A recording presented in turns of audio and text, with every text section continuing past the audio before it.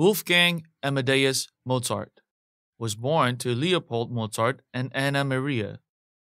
His father was a violinist and an experienced teacher.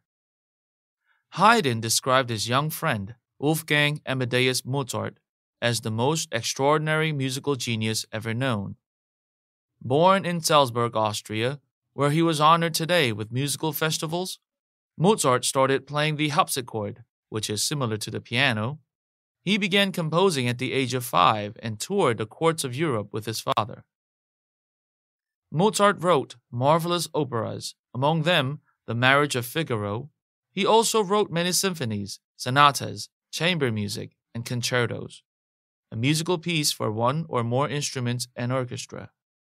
Yet he remained so poor that a friend calling one winter's day found Mozart, who could not afford a fire, waltzing with his wife to keep warm.